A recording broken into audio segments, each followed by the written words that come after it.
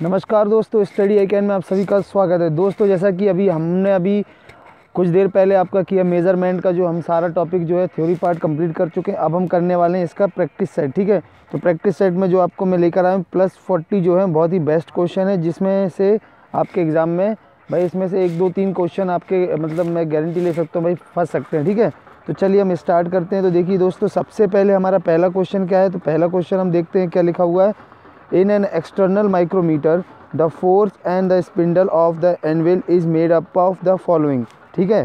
तो आपको देखिए इसको मैं थोड़ा जूम कर देता हूँ आपको अच्छे से देखने लगेगा। देखिए in an external micrometer external micrometer में the face and spindle of the anvil is made up made of the following ठीक है? किससे बना होता है? पहला ऑप्शन है आपका कास्ट आयरन से बना होता है। दूसरा ऑप्शन क्या है? क्रोमियम से स्टील से बना होता है या फिर टंगस्टन कार्बाइड से या फिर एलमोनियम एलॉय से। तो इसका सही आंसर क्या होगा? देखिए दोस्तों आप एक बार थोड़ा सा देखें, क्योंकि इसमें जो है, आपका जो क्वेश्चन है, इसको आप एक बार पॉज करके, खुद से भी करके करने की कोशिश कर सकते हैं। तो इसका आंसर मैं आपको बता देता हूँ। इसका आंसर है आपका बी क्रोमियम स्टील से बना होता है, ठीक है? इसका आंसर है आपका बी क्रोमियम स्टील ठीक है दोस्तों? तो याद रखना है आपको। देखिए, अब नेक्स्ट क्वेश्चन में चलते हैं। हमारा second question the concept of micrometer work on micrometer का जो कॉन्सेप्ट है, वो किस पर काम करता है? तो देखिए मैंने आपको अभी इससे जस्ट सेकेंड लेक्चर में ही बताया ये चीज़ है ना? तो रेशो ऑफ़ गियर पे वर्क करता है क्या? रेक एंड पिनियन पे करता है या different between two scale on the या फिर on the bolt and nut तो इसका आंसर हो जाएगा आपका on the bolt and nut ठीक है? बोल्ट और नट पे आ, के प्रिंसिपल पे काम करता है ठीक है? इसका आंसर आपका हो गया डी चलिए हमारा नेक्स्ट क्वेश्चन देखते हैं देखिए। नेक्स्ट क्वेश्चन है हमारा थर्ड तो थर्ड क्वेश्चन में है metric micrometer are available in the following तो जो मैट्रिक माइक्रोमीटर है, वो इस रेंज पे अवेलेबल होता है। तो देखिए ऑप्शन में ए में दिया हुआ twenty five M M B में दिया फिफ्टी एम एम सी में सेवेंटी फाइव एम एम और डी में आपका फाइव एम एम तो इसका आंसर जो होगा, वो होगा आपका A twenty five M M ठीक है? याद रखना आपको ट्वेंटी फाइव एम एम जो है, इसका आंसर है आपके थर्ड का, ठीक है? उसके बाद आगे बढ़ते हैं क्वेश्चन नंबर फोर्थ में देखते हैं। क्वेश्चन नंबर फोर्थ में क्या दिया हुआ है? There is an error in the outside micrometer and accurate reading can be taken by ठीक है? एक्यूरेट रीडिंग किस हिसाब से ली जाती है? तो इसका ऑप्शन देखिए, आपका ए बी सी डी में से देखना ऑप्शन क्या है? तो इसमें देखिए, इसका आंसर है adding negative error to the actual reading actual reading में आप जो है नेगेटिव एरर को ऐड करते हैं, ठीक है? फोर्थ का आंसर है आपका ए ठीक है? तो ये क्वेश्चन मैं आपको कहीं ना कहीं करवा चुका हूँ, ठीक है? इसलिए आपको याद रखने पड़ेंगे ये सब चीज़ें। ठीक है, चलिए क्वेश्चन नंबर फाइव देखते हैं। क्वेश्चन नंबर फाइव में the least count of metric vernier caliper तो मैट्रिक वर्नियर कैलीपर का लीस्ट काउंट क्या होता है? अब आप यहाँ पे थोड़ा सा दिमाग लगाइए, मैंने अभी जस्ट बताया आपको, कुछ ऑप्शन ए है जो आपका zero point zero one M M होता है क्या? फिर बी ऑप्शन है आपका zero point one M M या फिर zero point two M M या फिर zero point zero five M M ठीक है तो इसका जो ऑप्शन आंसर होगा वो आप देखिए फिफ्थ का आंसर जो आपका होगा C zero point zero two M M ठीक है, ये इसका आंसर है zero point zero two M M इसका लिस्ट काउंट है किसका वर्नियर कैलीपर का। ठीक है, वर्नियर कैलिपर का zero point zero two, micrometer का ज़ीरो पॉइंट ज़ीरो वन, ठीक है, ये मैंने आपको बताया था एम mm में, ठीक है, ये आपका है zero point zero two, vernier का याद रखना है, ठीक है। The least count of vernier bevel and protector is vernier bevel protector का लीस्ट काउंट क्या होता है, देखना है आपको तो इसका आंसर है आपका, देखिए ए ऑप्शन है क्या बी ऑप्शन और सी ऑप्शन में फाइव मिनट दिया हुआ है तो इसका आंसर है आपका सी ऑप्शन फाइव मिनट ठीक है। तो क्वेश्चन नंबर सिक्स का आंसर है सी फाइव मिनट ठीक है? कौन सा? Bevel protector vernier bevel protector तो चलिए हमारा नेक्स्ट क्वेश्चन देखते हैं। हमारा नेक्स्ट क्वेश्चन है question number seven what is the zero reading of ये कुछ दिख नहीं रहा। 55 टू 70 मिनट आउटसाइड माइक्रोमीटर ठीक है? 55 टू 70 मिनट आउटसाइड माइक्रोमीटर की जो है ज़ीरो रीडिंग क्या होती है? तो इसका आंसर है जो आपका वो है डी डी आंसर है 50.00 point zero zero M M मतलब 50 एम एम ठीक है? चलिए हमारा क्वेश्चन नंबर एट देखते हैं। The meaning of the zero error in an micrometer तो ज़ीरो एरर माइक्रोमीटर में जो होता है, उसका मतलब क्या होता है? तो उसका जो मतलब होता है, वो होता है आपका, देखिए इसमें इसका जो आंसर है, वो होगा आपका डी ऑप्शन ठीक है? D option when the measuring face of the contact and zero on the thimble ठीक है? Thimble and zero on the datum line do not meet each other ठीक है? इसका आंसर है आपका D option question number eight का answer जो हो जाएगा वो हो जाएगा आपका डी ऑप्शन। चलिए क्वेश्चन नंबर नाइन देखते हैं। क्वेश्चन नंबर नाइन में क्या बोला है? The ratchet stop in micrometer help in ठीक है? तो रेचिड जो होता है माइक्रोमीटर के पीछे का पार्ट है, मैंने आपको बताया था, इस तरह से माइक्रोमीटर है, यहाँ पे आपका थेम्बल है, यहाँ पे आपकी स्टिक है यहाँ नीचे रेचिड है ना सबसे लास्ट में। तो ये क्या करता है? किस चीज़ के लिए हेल्प करता है? ये हेल्प करता है आपका कंट्रोलिंग द प्रेशर ठीक है? प्रेशर को कंट्रोल करने के लिए करता है। कंट्रोलिंग द प्रेशर इसका आंसर हो जाएगा आपका ए कंट्रोलिंग द प्रेशर चलिए क्वेश्चन नंबर टेन देखते हैं। There is a negative error of 0.03 mm in a in a micrometer. If the micrometer give an measurement of 40.53 mm then what will be the correct reading तो ये आपको जो है numerical type से question है, उसको सॉल्व करने पे ये आंसर निकलेगा। तो ये अगर आप इस तरह के क्वेश्चन वैसे उस पर आपके आरआरबी में अभी न्यूमेरिकल के ज़्यादा इतने ज़्यादा चांसेस नहीं है, लेकिन ये क्वेश्चन मैंने डाला है तो इसको हम सॉल्व करके निकालेंगे तो ये निकलेगा 40.56 mm ठीक है? टेन का आंसर तो चलिए नेक्स्ट हमारा eleventh question number lock nut is use in a micrometer for तो लॉक नट जो होता है माइक्रोमीटर में, वो किस लिए यूज़ होता है? तो इस एलेवेंथ का देखिए ऑप्शन दिए हुए हैं आपको चार तो इसका जो आंसर हो जाएगा, वो हो जाएगा आपका B locking the reading on the job after fixing it जब हम जॉब में ले जाकर उसके जो इस तरह के शेप है, यहाँ पे हमने जॉब जो फिक्स कर दिया, यहाँ पे एनविल होता है, यहाँ पे हमारे स्पिंडल होता है, जब बीच में हम इसको फिक्स कर देते हैं, उस समय जो है, यहाँ पे इस जगह पे होता है आपका, क्या होता है लॉक नट तो इसको हम वहाँ पे टाइट कर देते हैं लॉक नट को, ताकि हमारा जो है माइक्रोमीटर अब हिले डुले नहीं, और हम एग्जैक्ट रीडिंग ले सकें, ठीक है? तो यहाँ से पूरा उसका यूँ होता है, यहाँ पर है ना, ठीक है? इस तरह से आपने देखा माइक्रोमीटर ठीक है? तो इसका आंसर जो हो जाएगा, वो हो जाएगा इलेवेंथ का आंसर है बी ठीक है?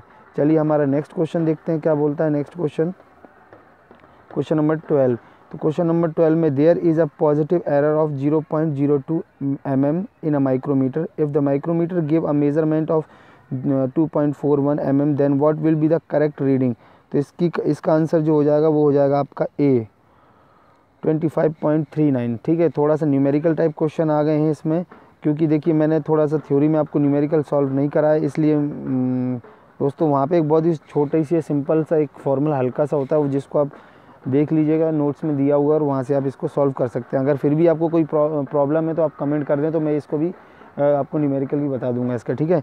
चलिए क्वेश्चन नंबर थर्टीन जो है थर्टीन में what is the value of micrometer setting in the following figure तो ये देखिए, इस तरह से क्वेश्चन भी आ सकता है भाई, क्योंकि आपको जो है भाई, जो आपका जो एग्ज़ाम है, उसमें आपको प्रैक्टिकल नॉलेज बहुत अच्छी होनी चाहिए। इसी वजह से तो हो रहा है आपका ये टेक्निकल पार्ट है ना? तो इस वजह से मैं आपको बता दूँ कि भाई यहाँ पे जो इसका आंसर होगा, वो आपको यहाँ पे रीडिंग देखकर बताना है, ठीक है? तो माइक्रोमीटर की रीडिंग कैसे देखी जाती है, वो मैंने आपको बताई थी और उसी हिसाब से आप देखेंगे तो यहाँ पे जो आंसर हो जाएगा, वो हो जाएगा two point thirty one M M ठीक है? अब ये कैसे होगा? देखिए, यहाँ पे देखिए आपकी एक और दो, ये दो पर है, ठीक है? अब दो एग्जैक्ट टू के ऊपर तो है नहीं आपकी लाइन देखिए मैं जूम करके बता रहा हूँ। देखिए, ये वन एंड टू तो दो एम एम है तो यहाँ पे दो, दूसरे के ऊपर नहीं है थोड़ा सा देखिए, बीच में गैप है, ये हल्का सा। ये वाला गैप है ना तो ये गैप अब ये कितना है, ये इस जो हमारा रोलिंग वाला ये ये है ना तो जो हमारा रोलिंग पार्ट है, इसका जो मूव करने वाला तो इसमें देखिए आप इसकी रीडिंग यहाँ पे क्या दे रहा है, इसके सामने इसके सामने जो रीडिंग दे रहा है, क्या रीडिंग दे रहा है, यहाँ पे ये देखिए, ये वाली क्या रीडिंग दे रहा है, उसी हिसाब से हमने यहाँ पे डिसाइड किया है कि इसका आंसर क्या होगा। तो रीडिंग आपको देखना आना चाहिए। तो इसका आंसर है टू पॉइंट थ्री वन। तो देखिए यहाँ पे थर्टी है। थर्टी के बाद थर्टी वन दिख रहा है आपको। तो ये टू हो गया और ये जो थोड़ा सा गैप था उसके लिए हमने ये वाला देखा। तो ये थर्टी के बाद थर्टी वन तो यहाँ पे टू पॉइंट थ्री वन। अब इसका मैंने आपको एरर निकालने का, वो एग्जैक्ट वैल्यू निकालने का मैंने आपको फॉर्मूला तरीका बताया था, ठीक है? तो ये था इसका आंसर थर्टीन का। चलिए question number fourteen. What is the value of micrometer setting in the following figure अब देखिए, इस फिगर में जो माइक्रोमीटर में सेटिंग है, इसका आंसर क्या होगा? तो 14 का जो आंसर हो जाएगा वो आपका ए हो जाएगा 12.69 mm ठीक है? 12.69 mm क्यों हो जाएगा? देखिए, यहाँ पे मैं आपको बता देता हूँ। 12.69 mm ठीक है?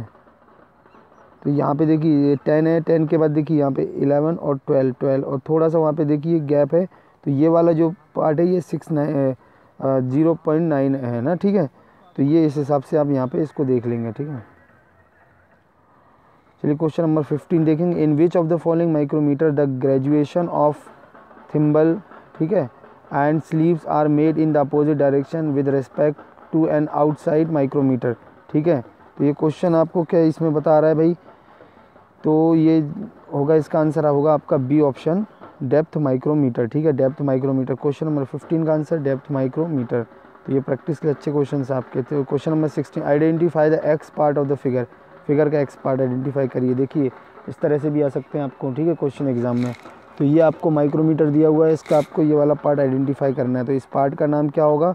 देखिए सिक्सटीन का जो हमारा आंसर हो जाएगा, वो हो जाएगा हमारा बी थिम्बल ठीक है? थिम्बल हो जाएगा। इसी ये थोड़ा सा यहाँ पे क्या होता है? थोड़ा सा रिग्ड होता है, ठीक है? क्या होता है? थोड़ा सा वैसा खुरदड़ा सा होता है, ताकि हम जब इसको रोटेट करेंगे, घुमाएँगे तो ये हमारे हाथों से फिसले ना इस वजह से, ठीक है? इसको बोलते हैं क्या? थिम्बल ठीक है? तो ये हमारा हो गया सिक्सटीन सेवनटीन का the different between one M S D and one V H D in a vernier caliper is vernier caliper one M S D one M क्या, कितना डिफरेंस होता है? तो क्वेश्चन नंबर सेवनटीन का आप देखिए यह होता है zero point zero two M M ठीक है? ये आपको याद रखना है, ठीक है? चलिए next question the determine the reading of the micrometer from the figure इस फिगर से आपको रीडिंग माइक्रोमीटर की डिटरमाइन करनी है तो आप देखिए ध्यान से, और यहाँ पे इसको रीडिंग देखें। तो आप इसको खुद से करके देखें और इसका मैं आंसर बता देता हूँ, आप इसको खुद से करके देखें। तो क्वेश्चन नंबर 18 का जो आंसर होगा वो 7.31 तो मैंने अभी प्रीवियस अभी क्वेश्चन में जस्ट बताया, उसी हिसाब से आपको यहाँ पर करना है, ठीक है? चलिए हम क्वेश्चन नंबर 18 देखते हैं। On the outside micrometer Kelly calibration and datum lines are marked on the ठीक है? कैलिब्रेशन और डेडम लाइन कहाँ पर मार्ग होती हैं? आउटसाइड माइक्रोमीटर में। ये आपको बताना है तो ये ये होती है बैरल पे, ठीक है? बैरल इसका आंसर हो जाएगा बैरल ठीक है? Reading of the following metric micrometer shall be following micrometer shall micrometer में कौन सी रीडिंग यहाँ पे दी गई है? तो दोस्तों देखो ये ऐसे क्वेश्चन आ सकते हैं, ठीक है? इस वजह से मैंने इस, ऐसे क्वेश्चन आपको दिए हुए तो ये रीडिंग यहाँ पे 21.14 mm हो जाएगी। जैसे आप इसको यहाँ पे थोड़ा डायग्राम में सही नहीं दिख रहा तो यहाँ पे देखिए ये ट्वेंटी लिखा हुआ है ट्वेंटी के बाद यहाँ पे देखिए ये वन है वन के बाद थोड़ा सा गैप है मतलब कुछ और एक्स्ट्रा है। तो ट्वेंटी वन पॉइंट इसका आंसर था आपका twenty one point one four ठीक है?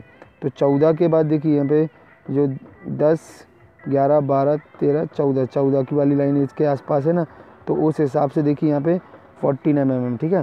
तो ये इस तरह से आप रीडिंग देखते हैं इसकी। तो ये क्वेश्चन नंबर ट्वेंटी आपका हो गया। क्वेश्चन नंबर ट्वेंटी के बाद हम आगे बढ़ते हैं। क्वेश्चन नंबर ट्वेंटी वन देखते हैं। तो क्वेश्चन नंबर ट्वेंटी वन में क्या बताया गया कि भाई identify the micrometer show in the figure ठीक है? अब ये माइक्रोमीटर आपको बताना जो इसमें दिख रहा है कुछ इसमें आपको डायग्राम में। तो थोड़ा सा अपना लॉजिक लगाइए, अगर आपने इसको कहीं देखा है तो आप देखिए, बहुत आसानी से जवाब दे देंगे, ये होगा जाएगा आपका इनसाइड माइक्रोमीटर ठीक है? ये अनसाइड माइक्रो मतलब आईडी नापने के लिए ये यूज़ किया जाता है, ठीक है? इंटरनल डायमीटर के लिए, इसको इनसाइड माइक्रोमीटर कहते हैं, ठीक है? अब ये देखिए which while taking the reading of an dial indicator question number twenty two हम पढ़ रहे हैं if it is a log from the angle rather than the looking strike, then the indicator will show either lower or higher reading. Which of the following shall be error? ठीक है तो किस type का error होगा? Question number twenty two देखिए question number twenty two का जो answer होगा, वो आपका होगा डी ऑप्शन ऑब्जर्वरी एरर ठीक है? ऑब्जर्वरी ऑब्जर्वेटरी एरर ठीक है?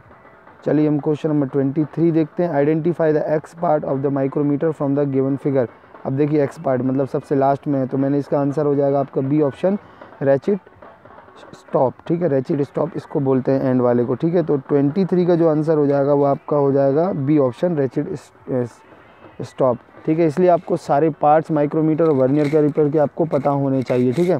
तो चलिए हम क्वेश्चन नंबर ट्वेंटी फोर पर चलते हैं। क्वेश्चन नंबर ट्वेंटी फोर में क्या बताया? Which part of the following given vernier caliper caliper as shown in the figure is use for measuring the internal radius internal radius measure करने के लिए कौन सा पार्ट यूज़ होता है? तो देखिए, ये मैंने आपको बताया, यहाँ पे बाहर का ओडी आउटर डायमीटर नापने के लिए यूज़ होता है।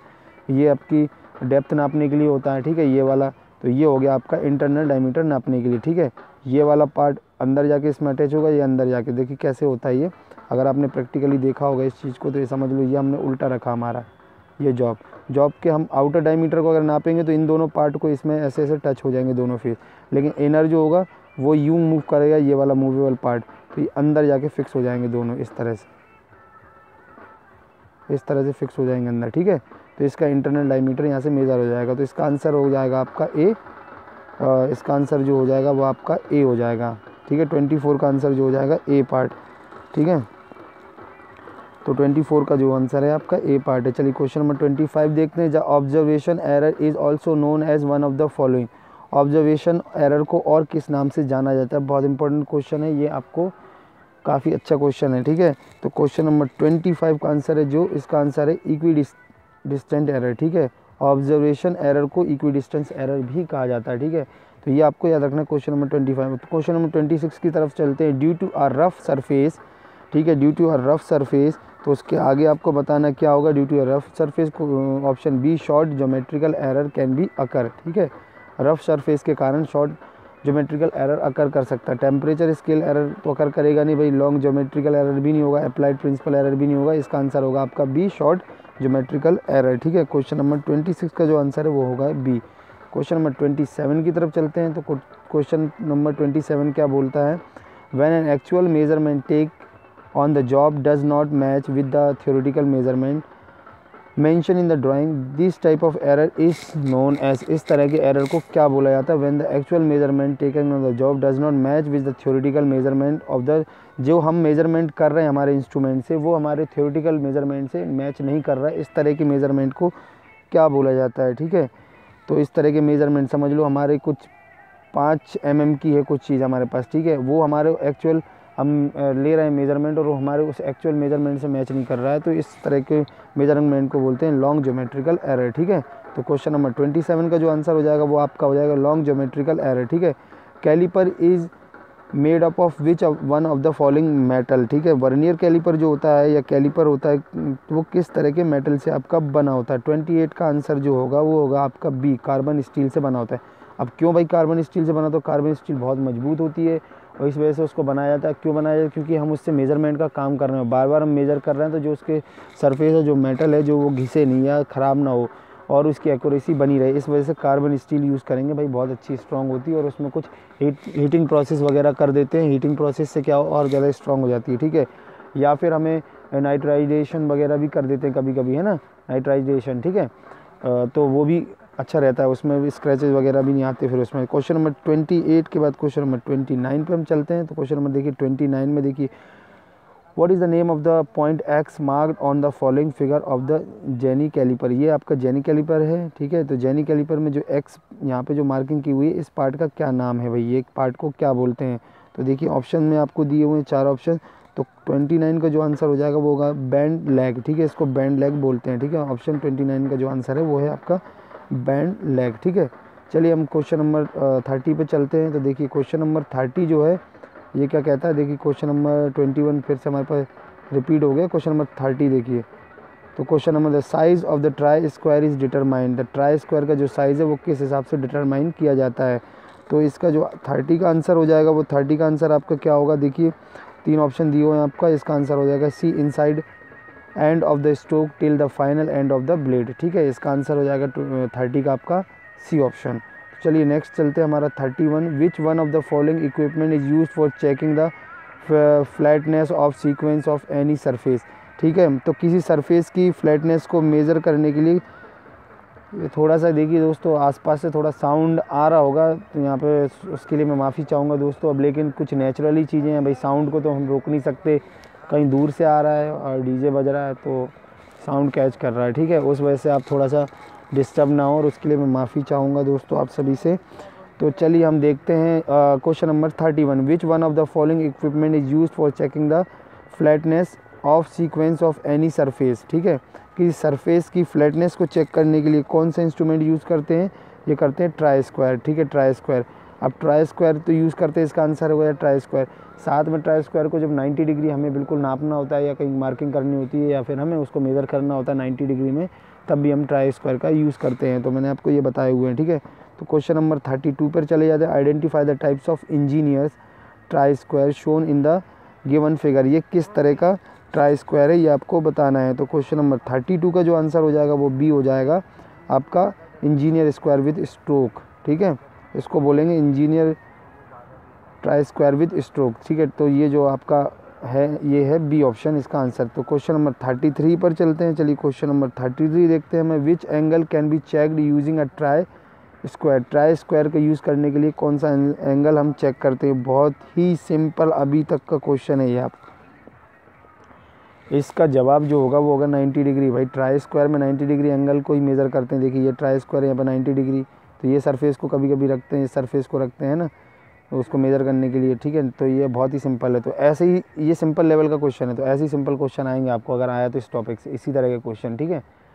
और बहुत अच्छा हो रहेगा स्कोरिंग करने के लिए। तो अब चलिए थर्टी फोर पर चले spring type of caliper is spring type का जो कैलीपर है, वो कौन सा है, ठीक है? तो ये आपको बताना है थर्टी फोर का जो हो जाएगा, वो हो जाएगा इनसाइड कैलीपर होगा क्या आउटसाइड कैलीपर होगा या जेनी कैलीपर होगा? तो देखिए इनसाइड कैलीपर और आउटसाइड कैलीपर जो है, वो स्प्रिंग टाइप के दोनों होते हैं, ठीक है? ए और बी इसका आंसर है सी ऑप्शन आपका ए और बी दोनों, ठीक है? तो इनसाइड कैलीपर और आउटसाइड कैलीपर, क्या होता है? ये आपको मैंने पहले बताया था भाई, इस तरह का देखो, ये कुछ इस तरह का है। वो कैलीपर सीधा सीधा ऐसे होता है, ठीक है? ऐसे होता है। तो यहाँ पे जो ऐसे लगा होता है, इसको हम स्प्रिंग बोलते हैं। ये अलग है, बट मैं आपको बता रहा हूँ, देखो, ऐसे, या बना नहीं पा रहा हूँ, एक मिनट में बता रहा हूँ। कुछ इस तरह से। तो यहाँ पे जो सिस्टम है ये लगी होती है इसको हम बोलते हैं स्प्रिंग टाइप का, ठीक है? तो स्प्रिंग टाइप के कैलीपर जो आउटसाइड कैलीपर और इनसाइड कैलीपर कुछ ऐसा होता है, ऐसा है। यहाँ भी स्प्रिंग लगी होती है ना, कुछ इस तरह से होता है। एग्जैक्ट डायग्राम नहीं बन पा रहा है बट आप समझ गए होंगे। तो ये दोनों तरह के होते हैं, दोनों में जो ऊपर वाला हिस्से में जो ये ऐसा लगा होता है ना, इसको बोलते हैं हम स्प्रिंग ठीक है? तो दोनों टाइप तो question number thirty five inside the name of caliper shown in the figure ये कैलीपर जो फिगर में दिख रहा है इसका आ, आपको नाम बताना है। Question number thirty five thirty five का जो आंसर होगा वो क्या होगा आपका? थर्टी फाइव का जो आंसर होगा ऑड लेग कैलीपर इसको बोलते हैं ठीक है? सी ऑप्शन इसका सही है ठीक है? Old leg sorry old leg leg caliper ठीक है? इसको बोलते हैं ठीक है? क्वेश्चन नंबर थर्टी फाइव अब चलिए क्वेश्चन नंबर थर्टी सिक्स देखते हैं हमारा। क्वेश्चन नंबर थर्टी सिक्स क्या बोलता है भाई? क्वेश्चन नंबर थर्टी सिक्स में आपका देखिए क्वेश्चन नंबर थर्टी सिक्स आगे identify the jenny caliper from the following इनमें से आपको जेनी कैलीपर बताना है तो बहुत ही सिंपल हो जाता है भाई आपको दिख रहा है थर्टी सिक्स में जेनी कैलीपर ये वाला। ए ऑप्शन आपका सही आंसर है ठीक है? इसका ए ऑप्शन ये जेनी कैलीपर है।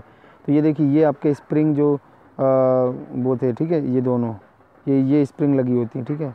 ये आउटसाइड ये देखिए, मैं यहाँ पे जो क्वेश्चन करा रहा था आपको स्प्रिंग टाइप कैलीपर है, ठीक है? इनसाइड कैलीपर और आउटसाइड कैलीपर तो देखिए, यहाँ पे बिल्कुल नाम आपको सामने दिखे ये आउटसाइड कैलीपर है, यहाँ बाहर का ओडी नापते हैं यहाँ इनसाइड कैलीपर है, जो कि अंदर से नापते हैं, ठीक है? उसको, ये भी है कैलीपर ही है।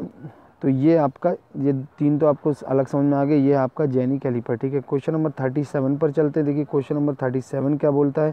Question number thirty seven identify the name of that caliper which has three name ठीक है? तो ऐसे कैलीपर जिसके तीन नाम है तो थर्टी सेवन का जो आंसर है जेनी कैलीपर ठीक है? जेनी कैलीपर जो है, उसके तीन नाम है, ठीक है? चलिए हम next question number thirty eight पर चलते हैं। Size of the caliper is taken तो कैलीपर का जो साइज़ है, वो कैसे लिया जाता है, ठीक है? कैलीपर का जो साइज़ है, वो लिया जाता है आपका option number B from point till the centre of the rivet ठीक है? ये इसका आंसर है थर्टी एट का B from the point till the centre of the rivet ये आपका थर्टी एट का हो गया आपका बी ठीक है? तो question number thirty nine the fitness of the steel rule is ठीक है? द फाइननेस सॉरी फाइननेस है वो। The fineness of the steel rule is तो फाइननेस मतलब कि एक तरह से हम यहाँ पे बात कर रहे हैं भाई, इसकी क्लियरेंस की एक तरह से, ठीक है? तो फाइननेस कितना होता है स्टील रूल का? मैंने आपको बताया था भाई कितना होता है। देखिए चारों ऑप्शन है। आपको सामने दिख रहा है थर्टी नाइन का। थर्टी नाइन का है zero point zero five sorry zero point zero five नहीं zero point five M M ठीक है?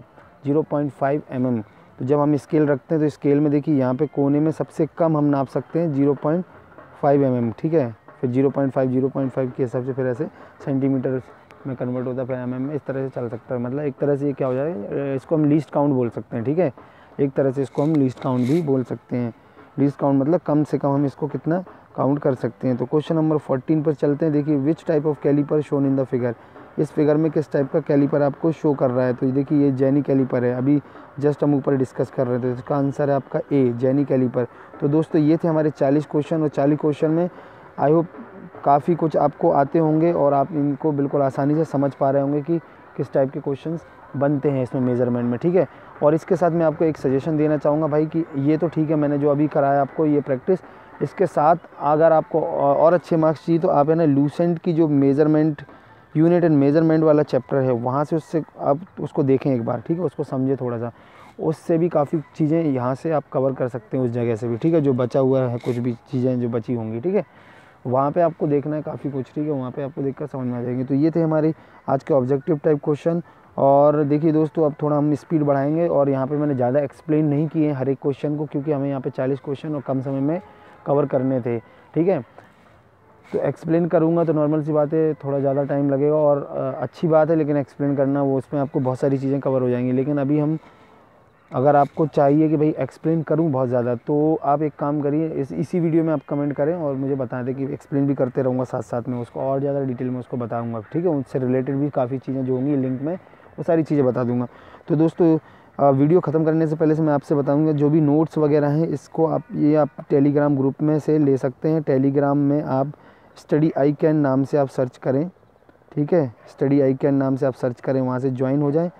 और ठीक है, अगर या फिर किसी वीडियो में लिंक डली हुई है तो आप लिंक पर भी क्लिक करके हो सकता है। और लिंक कभी कभी वर्क नहीं करती है तो वहाँ से परेशान ना हो। आप अपना टेलीग्राम नंबर जो है कमेंट में किसी भी वीडियो में आप मुझे सेंड कर दे तो मैं वो नंबर देख लूँगा, ठीक है? कमेंट में आपको क्या करना है, अपना नंबर टेलीग्राम वाला नंबर सेंड करना ठीक है? तो दोस्तों, ये थी हमारी आज की वीडियो। दोस्तों, हम इसको यहीं समाप्त करते हैं। और दोस्तों, मैं आप सभी से रिक्वेस्ट करना चाहूँगा कि आप अगर मेरे चैनल में अभी तक नए हैं तो दोस्तों, प्लीज़ चैनल को सब्सक्राइब ज़रूर कर लें। दोस्तों, इससे हमारा कॉन्फिडेंस बढ़ रहा है दोस्तों, और बढ़ता है। और साथ में एक बेल आइकन होगा, इसको दबा देंगे। जैसे ही नई वीडियो मैं अपलोड करूँगा, वो आप तक पहुँच जाएगी। और अपने दोस्तों के साथ शेयर भी करें। इस तरह से क्या होगा, आपके दोस्तों की भी हेल्प हो जाएगी। क्योंकि दोस्तों, बहुत ही कम समय बचा आपके एग्ज़ाम के लिए तो आप कम से कम अपने दोस्तों की तो हेल्प कर ही दें इसको शेयर करके। ठीक है दोस्तों, हम इसको यहीं समाप्त करते हैं। जय हिंद दोस्तों।